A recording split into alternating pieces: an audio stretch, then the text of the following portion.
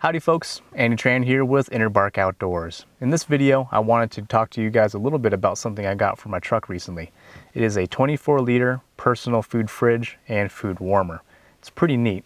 The benefit of this over a regular cooler is that because it is all electronic, there's no ice, so there's nothing to melt. You don't have to get ice at the next gas station to make sure your food stays cold. And also you can switch it over into a different mode to keep your food warm. Check it out. The cooling function lowers the internal temperature approximately 36 degrees Fahrenheit below the ambient temperature, which makes it cold enough to store food when using at room temperature. The heating mode brings the internal temperature to 140 degrees Fahrenheit. It transfers heat energy between the top and the bottom of the lid using 40 watts of 12 volts DC. The inside of the lid has a fan to circulate cold or hot air. Inside the cable compartment has the mode slash power switch. The lid has an O-ring to help keep the unit efficient. The cable on this unit has a long reach, which allows you to keep it anywhere in your vehicle's cabin.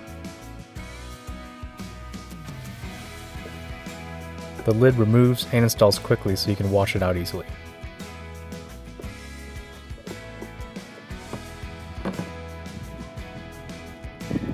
For solo trips, I keep the cooler on the passenger floor.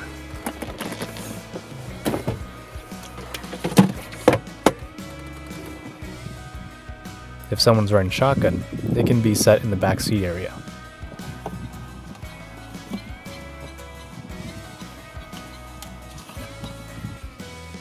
On the day-to-day, -day, I keep water in it so that I can keep hydrated while I'm on duty. It's plenty of room for two 100 ounce bladders and a 64 ounce Nalgene, along with snacks and other food that needs to be cold. The only thing I'd change on this unit is the closure for the cable hatch. The post is soft and bendable. I would change it to a magnetic latch if it was up to me. So that's the 24 liter food fridge and food warmer made by Wagan Tech. If you guys have any comments or questions about this, go ahead and message me directly through YouTube or Facebook or comment down below. If you guys enjoyed the video, please like, share, and subscribe, and also check out my Facebook page and other social media. It really helps me know these are the kind of videos you want to see. But as always, take care out there. Bye. Hold the mag with bullets pointing down. Step 3. Put the tip between the lips and press the second round down. Step 4.